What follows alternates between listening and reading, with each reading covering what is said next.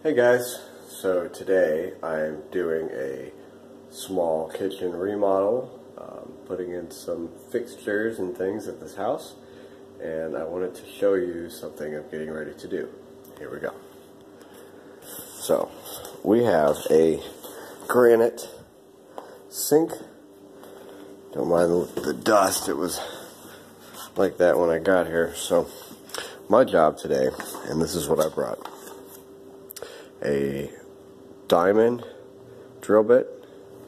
This one's inch and three eighths. And this bad boy was $75.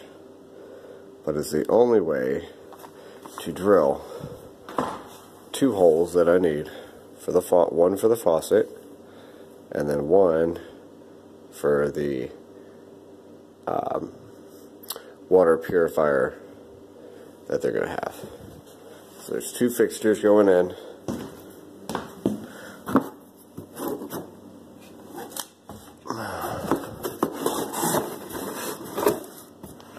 This one.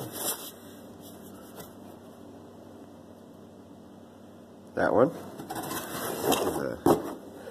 Delta, it's a good brand. And we have another faucet. This one's a uh, Price Pfister. It's not real fancy, but see, this is where it goes through that hole. There will be a hole there here in a minute. So, I'm getting ready to drill it, so I'll let you guys know when it's done.